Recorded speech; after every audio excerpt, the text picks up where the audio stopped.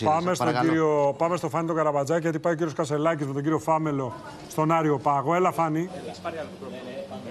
Καλημέρα. Μόλις ο κύριος Κασελάκης έφτασε στον Άριο Πάγο για να συναντηθεί με την εισαγγελέα του Άριου Πάγου, την κυρία Αδηλίνη.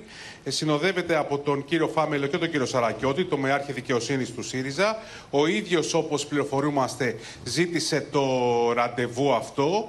Δεν κάνει κάποιες δηλώσεις προσερχόμενος, όπως μας ενημέρωσαν κιόλας από το γραφείο του. Θα κάνει εξερχόμενος.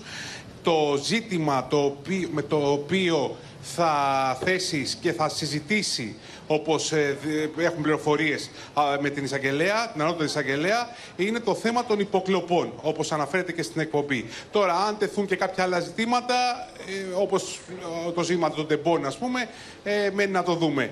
Πιο πολύ, όπως καταλαβαίνουμε, θα είναι θυμοτυπική επίσκεψη, δεν φαίνεται να έχει κάτι ουσιαστικό να προσφέρει στο επίπεδο της έρευνας που διενεργείται και η οποία είναι πλέον σε ανώτατο θεσμικό επίπεδο.